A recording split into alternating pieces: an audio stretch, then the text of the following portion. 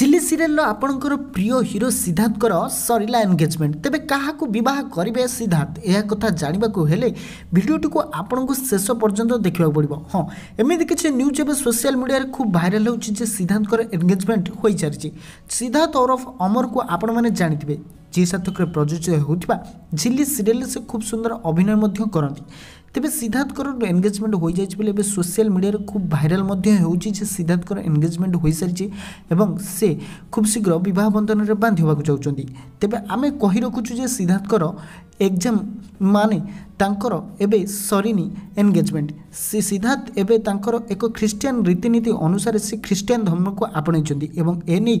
ସେ ପାର୍ଟି ଦେଇଥିଲେ ଏବଂ ସେ ଧର୍ମକୁ ଆପଣେଇବାର ନେଇ ମଧ୍ୟ କିଛି ଦେଖିବାକୁ ମିଳିଥିଲା ଯାହାଫଳରେ କି ଏହି ଖ୍ରୀଷ୍ଟିଆନ ଧର୍ମ ଆପଣେଇବା ପରେ ତାଙ୍କୁ ଗୋଟିଏ ନୂଆ ନାଁ ଦିଆଯିବ ଏବଂ ଏହାପରେ ସେ ଖ୍ରୀଷ୍ଟିଆନ ଧର୍ମ ଗ୍ରହଣ କରିବେ ବୋଲି ଅନେକ ପକ୍ଷରୁ ଶୁଣିବାକୁ ମିଳୁଛି କିନ୍ତୁ ଏହାର ଭବ୍ୟ ଆୟୋଜନ ଦେଖି ସମସ୍ତେ ଭାବୁଛନ୍ତି ଯେ ସେଇଟା ଗୋଟିଏ ହେବାକୁ ଯାଉଛି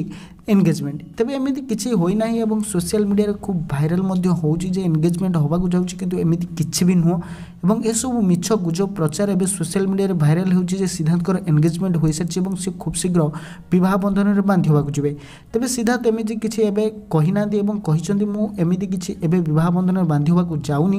ଯଦି ଆଗକୁ କେବେ ବି ଯିବି ମୁଁ ଆପଣମାନଙ୍କୁ ଜଣାଇବି ତେବେ ସିଦ୍ଧାର୍ଥଙ୍କର ଝିଲି ସିରିଏଲ୍ର ଅଭିନୟ ଆପଣଙ୍କୁ କେମିତି ଲାଗେ ଆମକୁ କମେଣ୍ଟ ସେକ୍ସନରେ ମତାମତ ଦେଇ ନିଶ୍ଚୟ ଜଣାଇବେ